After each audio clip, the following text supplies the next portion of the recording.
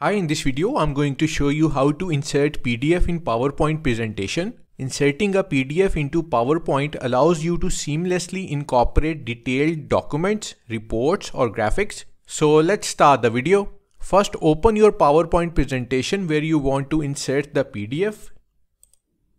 Once your presentation is open, select the slide where you want to insert the PDF document. It's on slide 5. Now click on the insert tab in the top menu bar. So click on insert. Here on the insert tab you will find various options for adding different types of content to your slide. For inserting a PDF we will use the object option. So click on the object icon. This is the object icon. So click on it. A pop-up window will appear. Check this option create from file. So click on it. Now click on browse button to locate the PDF file you want to add to PowerPoint slide.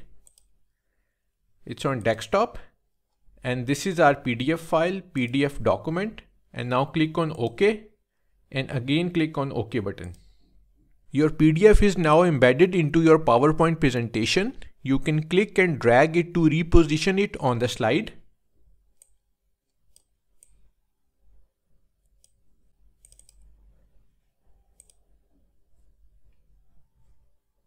So that's how to insert PDF in PowerPoint. Thanks for watching and don't forget to hit the like button and do subscribe to my channel for more videos like this.